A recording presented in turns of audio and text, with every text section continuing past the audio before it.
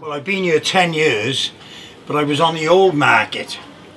And then from the old market, uh, Mr. Rapport, going back a long time ago now, um, arranged for me to have this trailer. And they built it, and that's it.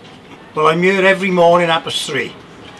Um, because the fish is delivered between three and past four and I'm, I'm here waiting for it. It's like this morning, two big boxes of ice to fill it up with ice um, and three salmon which were sold. That was that woman there and that one. Um, and that's it. Saturday is a dull day. Mondays I don't open, you can't get fresh fish on a Monday.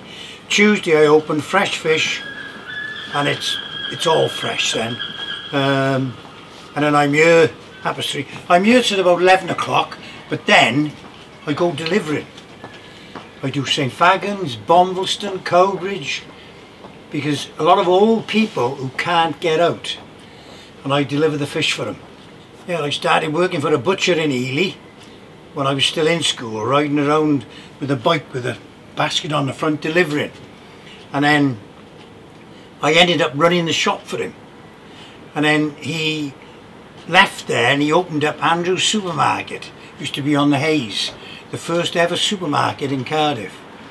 And I ended up as the butcher there.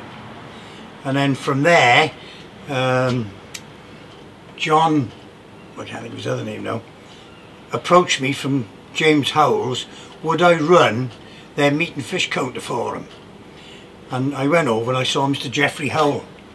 And I started working I started running the meat and fish department one or two Jewish people came there and I started doing the Jewish community I mean, it's like now, I go to the rabbi's house now and I cut all his fish in his kitchen because it's, it's, it's kosher.